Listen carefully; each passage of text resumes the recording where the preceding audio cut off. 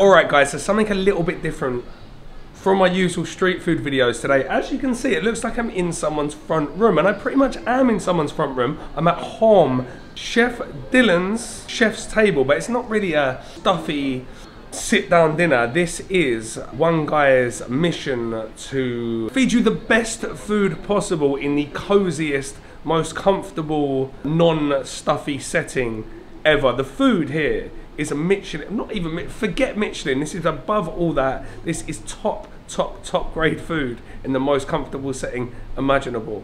I love this. I know you're gonna love this. So let's go. Sawadee Krab, welcome to Haawm everybody. Um, I'm Dylan. I'm just going to give a quick rundown of how this works and what's going to happen. Um, I like to tell everybody that this is the world's most casual Thai restaurant, in which it is. Um, I am half American, but the food is 100% Thai. Um, you have a menu in front of you. I'm just going to show you what you're going to get. We're going to start with an amuse bouche, do a couple starters, and then I'm going to go away for like 20 minutes and everything's going to come out at the same time.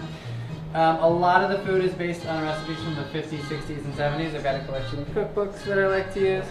Um, but more and more these days, I'm just cooking whatever I want. Really, just I want you to feel like you're just eating dinner at a friend's house. That's kind of what's happening. It's very survive, survive. Okay, shall we get started? Yes. Yes. Yeah. Let's go. First bite of the night, we have uh, mamuang prio nampawang. pawang. So, sour mango with sweet fish sauce. So, um, this is a very common Thai snack. Uh, you're Thai, you've surely had it before. Um, but I wanted to go reference something uh, that's very specific to me and probably a lot of other people too. There's a Yadong shack over here, not too far. Uh, as many neighborhoods have. They got the little local bamboo hut and the guy that's selling local booze. It's like uh, Yadong being like um, rice liquor and they ferment it with a bunch of different spices. Uh, so the guy over here, he serves his with uh, green mango and sweet fish sauce. Often you'll get like green mango and chili salt to snack with it. But he does sweet fish sauce and chili salt if you want. So we use an old recipe for sweet fish sauce. Uh, we have coconut cream, fish sauce, and good palm sugar, just reduced down so really thick. Then we use some of the yadong that he sells, and we put that in there as well. That's all reduced and thick. We mix in some dried prawns, fried shallots, fresh shallot on top, chili, a little mandarin zest. Pick it up, eat it with your hands. Take one bite. Hello, I'm not. Enjoy cup. Uh, Alright, look at this funky My light, eyesight Amanda. is So we, my what have we got? So bad. So we've got sour mango with yadong and sweet fish sauce, and this is why I love this place. Um, I, I love this from last time, right? So there's a story behind every dish, but it's not like it's not like uh, it's not like over the top and arrogant, and you know, like it all comes from like a really, really um, authentic place. But let's. Uh, I'm absolutely starving, so I'm gonna grab this amuse bouche and. Uh, all right. So to be honest, guys, yadong doesn't sound great to me. Uh, if you don't know what yadong is, yadong is uh, it sends shivers down my spine. A lot of the time, it's on the menu as moonshine. It's a local spirit, uh, some Thai herbs and spices, but with sour mango and sweet fish sauce, could could pull this back for me.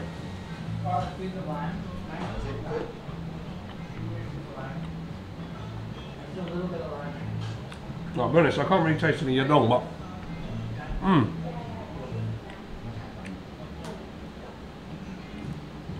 You got everything you need there. You got you got sweet. You got like a sort of sticky, almost butterscotchy sweetness from the palm sugar. Hyper sour mango. Um, texturally, it's amazing. Um, you got a little bit of umami from the shrimp uh, and a touch of heat from the chili. It's a good start. Next dish, the first uh, dish dish on the menu. This is uh, yum bai miang in Thai, or a tea leaf salad. Um, so the funny thing about this is this is not a Thai dish at all. This is a Burmese dish. Um, but I wanted to put it on the menu because it is important to recognize the fact that uh, Myanmar people make up a large population of Thailand, doing much of the work that Thai people do not want to do. Uh, it often goes underappreciated and overlooked, so I wanted to give a little tribute to that. Um, there's obviously, of course, many ways to do that. Uh, this is my way today. Um, so, if you've been to Myanmar, or if you know anything about Burmese food, uh, tea leaf salad is a huge part of the cuisine. Most of the major markets in Thailand have a Burmese area in which you can find this. This one I base off of a shop in Phra Khanong. uh, is a woman named Sheila, and she makes a really good version. So I asked her how to do it, um, and she gave me some tips. But of course, I zhuzhed it up to how I wanted to do it a little bit too. Uh, so we have some organic uh, fermented tea leaves from up in Chiang Mai, monsoon tea. We chop those up with some shredded cabbage. Uh, we put some cucumber in there. There's some shredded pak chi phalang. Um, crispy garlic, crispy tua pak ah, um, dried prawns, and then we make a dressing of the tea leaves, grilled tomatoes, vinegar, fish sauce, and lots of garlic oil. Mix it all up. You get all these crazy textures and flavors going on. So, enjoy. Awesome. Guys, I keep I sound like a broken record on every video, but I keep talking about textures. You know how unbelievable, it? You know how important textures are to me, and there's so much going on here. You've got the soft cucumber, the crunchy garlic, but there's also some crispy beans in here. So Yeah. crispy dried broad beans.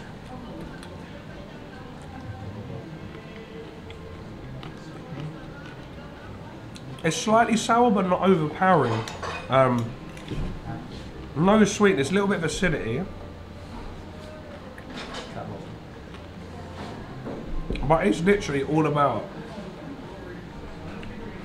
all about the textures and absolutely perfectly, perfectly seasoned.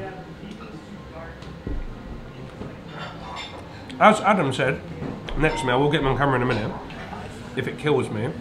This is like a step up from your from your average market tea leaf salad, which I absolutely love anyway. But um, this is uh,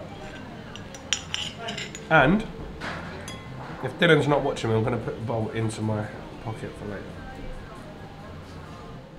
All right, next up, uh, second half, we have uh, Sai Ua. Everyone lives in Thailand, I'm sure they know Sai Ua.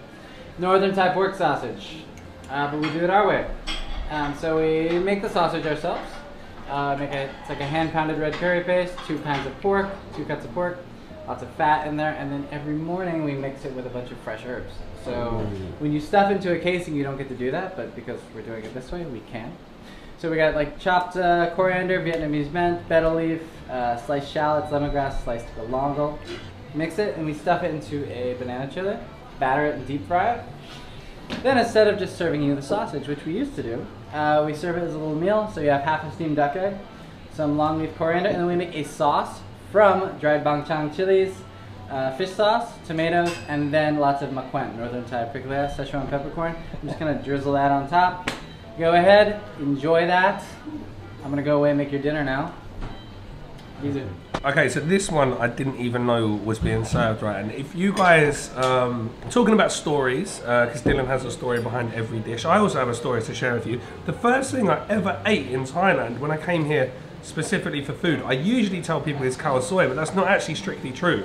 The very first thing I ate at a market was sai ua, the northern Thai sausage, and for me, I've never eaten anything that tastes more Thai. Like everything you associate with Thailand. Uh, galangal, lime leaves, lemongrass, uh, shallots, garlic, everything into one sausage, and it's not like a hot dog. It's like a like an actual what we would consider to be a sausage. So um, I'm so excited that they've stuffed a chili, deep fried it, and then served it with the gummiest. Gummy is that an adjective? It is now. Gummy it is now. Gummiest duck egg you've ever seen in your life, topped off with a smoky chili sauce. I want to get try and get a little bit of everything super super crispy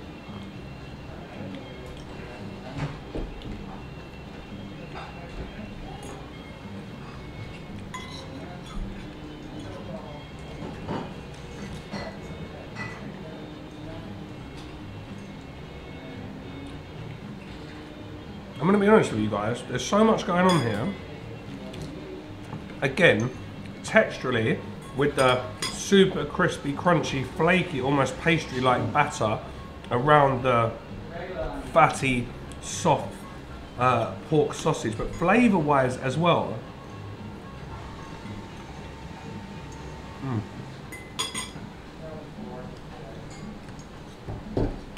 So you've got the fresh pounded, semi-spicy red curry paste.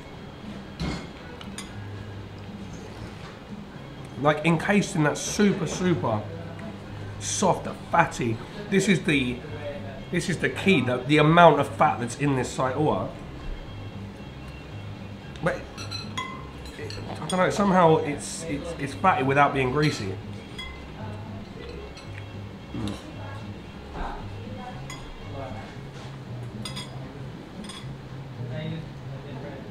And what hits you, which I think you need because it's so fatty, the pork and it's been deep fried, is the abundance of fresh herbs. That's freshening everything up on the back end. Yeah, yeah, Dann. How is Hi. it? Good. Thank you for inviting us here. It's just amazing. Thank you for coming. This is only three dishes. I couldn't eat one of them, but two of them are really delicious and lovely it's worth coming here and she loved it ชอบไหมชอบมากอร่อย Chama, Alana, Ka, Okay. Hello, uh, my name is Eric, and uh, I'm going to basically just be taking your plates. Uh, uh, if you could just put your silverware off to the side, I'll take all your plates. Uh, yeah, Come on, Eric. Something more interesting than that. that's all I say right now. Yeah, What's your Instagram? My Instagram, Stir Fried Together. And I didn't know he was going to be here, and I'm not just saying this, but it's one of the best Instagram profiles you're going to find on food, on Thai food for sure. Um, he's always randomly like cooking for his neighbours and stuff, right? yeah, it's it's brilliant. So links in the description, guys. Get following these guys. They know what they're talking about. They know what they're talking about. No, the- in, the, in the sauce that came with the sauce. so the really interesting thing in the sauce, which I couldn't work out, even though Dylan actually told me, because obviously wasn't paying attention, was the makwen. Wh- If you don't know what makwen is, it's like a cousin of Szechuan pepper, but it doesn't have the same like intense numbing, uh, like spicy mala numbing flavour. Like it's just got like a very floral, almost like I thought it was a rhizome, not rhizome gingery kind of taste. But it's on when you got to Nan in northern Thailand, it is on absolutely everything. It's a it's a it's a spice that's very close to my heart. So. I, we just changed the menu. This is the first run for a few of these things. Um, but I, I think this one's quite nice. Uh, the first one I brought right here, this is a lon. Uh, the Thai people will know, you guys will know too. So we have a relish, always with something cured or fermented, uh, simmered in coconut cream. In this case, we have a talkia lon. So we have some fermented soybeans. Uh, we simmer that in smoked coconut cream with a little bit of chili, some mangkung, and then we mix in a bunch of blue crab. Uh, add some green chili, fresh shallot, and coriander at the end. Um, to eat with it, we have some assorted herbs and veggies, some bitter, some sour, some spicy, some cucumber, some white turmeric, and then some deep fried violet crude or Garuda claw leaf from the south. So you get this crispiness to go with the creaminess of the lung. After that, we have a yum som o, pomelo salad. Um, so we all know pomelo salad. I wanted to do a version that is not like the one you get most of the time, which is chili jam, betel leaf sort of thing. So this is very like, more like sap style. Um, two kinds of pomelo, quite spicy dressing made with yellow chili, picked galliang also, um, roselle vinegar, um, a little bit of dipli or long pepper in there as well. Coconut cream, we mix in the sour chamois leaves, mint, fried garlic, shallots, and then um, lots of lemongrass as well. After that, right here, we have a very interesting curry. So this is called, uh, in a cookbook I have, this is a mix of two recipes. The first recipe being uh, Penang Gai So, so fresh Penang chicken. And then there's another recipe, Nha Ping Penang. So I mix those two together, sir. But the interesting thing about it, we know Penang curry. It's nothing like a Penang curry that we know. Um, it's a simple red curry paste. Um, no spices, no peanuts, nothing like that, just chilies and aromatics. Um, in the chicken recipe, you shred up fresh chicken that you steam, and then you pour the curry on top. So we took the grilled beef from the other recipe that we have, no pink penang, and then we pour the sauce on top. So we use smoked coconut cream in that to give it a very smoky aromatic flavor. Um, the beef is, we say it's grilled, but we technically smoke it. Uh, we use uh, something very similar to a Josper, but it costs way way less. We use a bucket uh, over really high heat with a bunch of aromatics like coconut, uh, pandan, star anise on the bottom. Cook it really fast so it gets super smoky and crunchy on the outside. Um, it's very tasty. It's a very tasty dish. Very strange. Do not call it a Penang. Someone's going to be mad at me for saying it's a Penang. That's what the book says. Penang sauce. Yeah. Okay, it's okay. whatever. It's, you know, And it's just Penang one of those steak things. is plate steak, right? Like the middle of the belly, Yeah. I right? think so. I'm not a real chef. No, okay, cool. It's very tender, very tender. Um, after that, to balance that out, with the sweetness of this, we have gang som, kind of a southern Thai style. Very interesting recipe. Uh, it's a very thick, very spicy gang som. Uh, it's got lots of black pepper in it as well as lemongrass, and we also put a little bit of black pepper there as well. Um, make it quite spicy. We have some tiger prawns, grilled pineapple, and then we finish it with holy basil. So, start with that. More is coming. Enjoy. Well, I've got him in, I've got him in. You're on now, you might as well say something. Good? Very, very, very, all of it's amazing. Really good. Listen, he's, he's the harshest food critic that isn't a food critic in. You are though, aren't you? It's solid. The It's harshest food. He should be a food vlogger, but he's not. But he's. He knows more about food than your So average. far, that the burnt pineapple and prawn thing is absolutely outstanding. Have you tried these? Uh, no, I haven't got fire yet. I'm still working my way over that side of the table. These crispy little, I've forgotten what they're called already, but the idea is to dip it into this lon. Most people have had nampik. Nampik is chili paste, but nampik would be fresh. So you would usually just pound fresh ingredients like shrimp paste, lime juice, shallots, chilies, etc., etc. Lon is cooked usually, and it always has to have something fermented in. So this has got tau tiao in it, which is yellow bean paste, coconut, prawn, blue crab. I'm a sucker for tau tiao anyway. I love anything with fermented beans in it, but this is uh, again that it's incredible how much depth is in every single dish. Um, it's, it's it's hard for like even someone who's as good as me. Um, it's hard for me to pick out um, even two or three of the flavors here, but I will try it.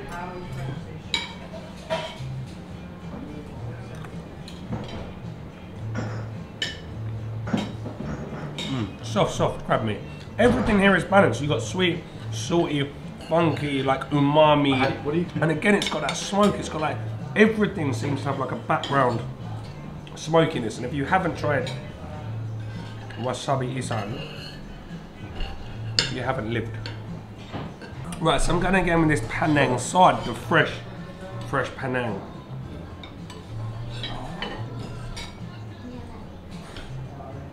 The outside of the, I was to say brisket, it's not, it's plate steaks. It's like in between the brisket and the flank. And he's managed to get it like completely blackened on the outside, like how, you know, like sort of Southern American barbecue style. Very, very pink and rare on the inside.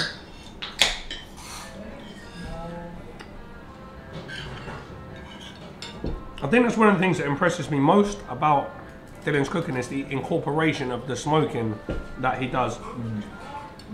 Like it said, always smoking over aromatics, coconut, I think he said star anise, a few different things. It's always building, he's always thinking about building layers and layers of flavour with layers and layers of texture. It's semi-sweet from the palm sugar. There's no peanuts in this, but it still tastes like there's peanuts in this. It's still got that thick, rich rich, creamy mouthfeel like you think you've got peanuts. And apparently they're getting that from deep fried shallots and garlic pounded into the paste, which gives you the illusion of having that like extra layer of fat and nuttiness without actually having any nuts in. So it has a Penang vibe,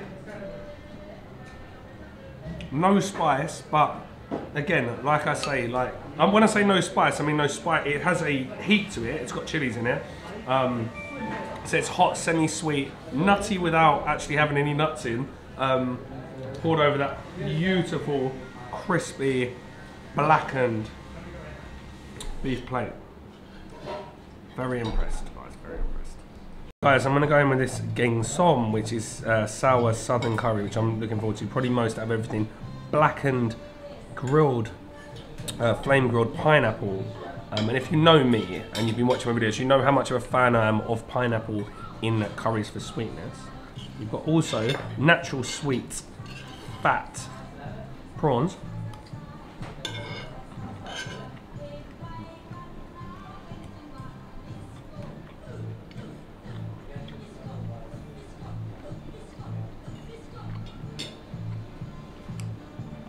Again, it's everything. It's very, very peppery. It's got um.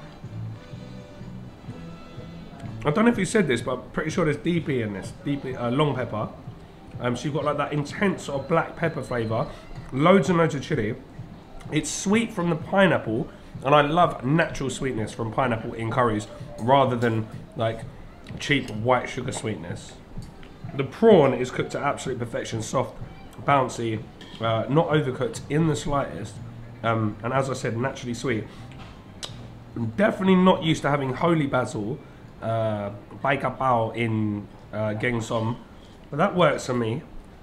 Goes very nicely with the rest of the peppery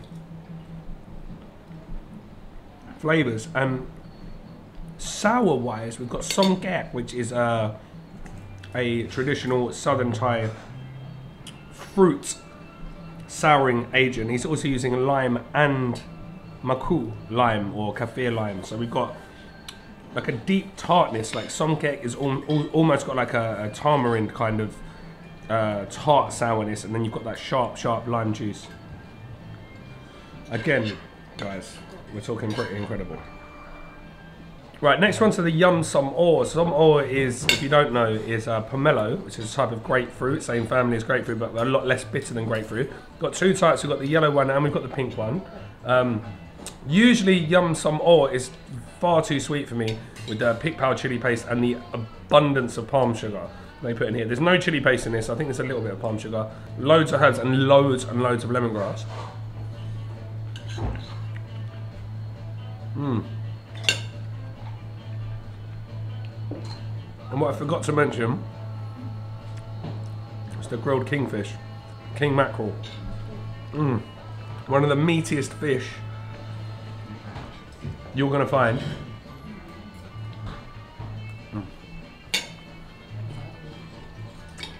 Super light and super fresh compared to a normal uh, yum som or uh, pomelo salad. A lot lighter, a lot fresher, um, and a lot, lot less sweet. A little bit more sourness, and I absolutely, as you know, adore lemongrass. So the more lemongrass on something, the better. And the addition of the kingfish, genius. So Dann, as as as as, as the only Thai guy on the table, Yeah. what do you do? Oh, wonderful. Um, I've been to many places, and as a Thai perspective, the food has its development. This food might have some old recipe that you guys might not seen before. But to me, for example, like this, the um, the Penang is something out of my world. I don't think anything like this, but I have it. I love it, and I don't know if I can find somewhere else. But this is it. And the other dish, just like Gary said, it has some something special about it. It has some secret recipe within it. So the detail of it is really delicate. You have to come here and try it yourself. You, I can't just describe it, guys. Yeah, yeah, I like my อร่อยมากอิ่มแล้วเผ็ดด้วย car. Next up, we have a soup of roast pork collar, uh, not collar, pork neck, um, shallots, a broth of 24-hour pork bones, and some sand ginger powder. And we finish with Thai basil and fried garlic. Very simple soup, but it should kind of remind you of like teow, you know. Anyways, very soothing, simple. It's gonna calm down some of those more intense stuff. All right, guys. Last but certainly not least, well, it's not even the last because the ice cream is going to come out. But last of the savoury dishes um, is this 24-hour stewed pork soup, uh, like a nam sai, but the flavour on this is incredible. Again, smoked uh, pork jiao, uh, yang, or smoked mo yang. Don't know how would you say it. Not sure. Not sure. But anyway, again, very, very savoury. Where they've stewed the bones down for so long, you've also almost got like a milky, very, very intense pork broth. Very, very salty, umami. I mean that in a good way. Um, thick, slightly gelatinous. The mouth feels incredible. You've got the freshness coming from the Thai basil, that aniseed freshness on the back end. I could not give this any more superlatives if I had tried, guys. This this this has been uh, nothing short of incredible. So we have two desserts here. Uh, the first one being Kunomokang, made fresh every day by this guy right here. I knew right. you did something more interesting and take the plate. Yeah. uh, this is Kunom Mokang, oh, so it's the best mokang in the world. We tell people um, we use a pretty classic recipe however we add a couple things like Regency brandy little orange zest and then we brulee the top our recent guests let us know that you do not use Regency brandy or orange zest in a traditional gang. Great. uh, we finish it, of course, with fried shallots, and we use smoked coconut cream. To go with that, so we get this little cake and ice cream thing going on. We have Konom Piakbun flavored ice cream from Saki at Yora in Talat Noi. So you have those two together. They are very tasty. Please enjoy in a cup. Thank you so much. So much. so Thank much, you so much. Thank you so much. Yeah, this is Congrats. great. So sabai sabai. Thank you. yeah. this is all I want here. Sabai sabai. Right, last one. Guys, as I always preach, right, so you up and coming budding YouTubers, don't ever pretend that you know something that you don't know because you'll just get found out. I have absolutely no idea what this dessert is, but it must be a famous Thai dessert, right?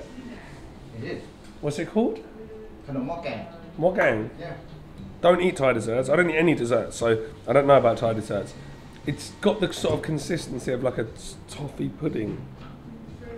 Um, and I never thought I would enjoy it. The ice cream is unbelievable, by the way, but um, I never thought when he said there was crispy fried uh, hom jiao, uh, fried shallots on top. I thought that's a bit weird, but actually, Works. again, it works. In fact, nothing hasn't worked here, guys. Um, I'm so full. Um, there's so much food, and he's asking if we want more food. Um, the 2,001, I want to say it's 2,150 watt plus plus. I've got to say it's worth it for the experience. Um, for me, as I said earlier in the video, I don't like stuffy um, five star restaurants uh, where you can't talk, you can't be loud, um, and you can't bring your own beer. Uh, not for me. This is a very, very homely experience. You've got the chef who has got to be one of the most talented chefs I've met in Thailand, uh, and I know a few.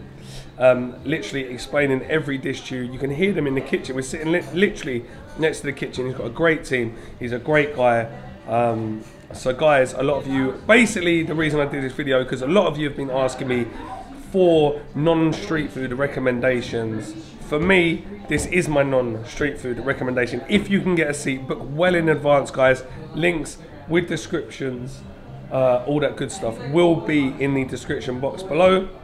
Make sure you get over and follow Dann Bangkok. You can't follow Adam because he still doesn't have a channel or any sort of uh, social media. But um, get booked on here, guys. I will see you again next week for some more Bangkok street food. For now, that's all from me, and I will see you in the next one. Thanks to the guys. You want to say something, something? I don't know what that means. Uh, what, uh, I don't know. How, how has it been working at home? Let's start uh, I call it Chili's Paradise. Yeah? Yeah, it is Chili's. I coined that term, but uh, yeah, it's great. I love working here. It's my favorite. It's my favorite job. Ron, Yes. uh, do you like working here? Yeah, I love to be here every day. Yeah. Yeah. Your salad was amazing. Jezu Limbade. Oh yeah, this is the way. Yeah, but We're a good team. A great We team, work guys. really well together. The best. Yeah, I got lucked out. We've had Yeah. we've had some other people come through. Some great, some great, some not so great. You know, I'm not gonna name names on but it camera. works. but- No, no, it's okay. It works. It works best when it's the three of us, for sure. Uh, well, the, the the the bond you guys have definitely shines through in the food. So Thank you. thank you so much, guys. Thank you. Absolutely enjoyed that so much. You know, it's it's been a couple of years since you were here last. It's been think- three years, I isn't it? think we've I think we've grown since. since Definitely, hundred percent. right? Bizu. oh good. Thank you. Thank you, my friend. Thank you so much.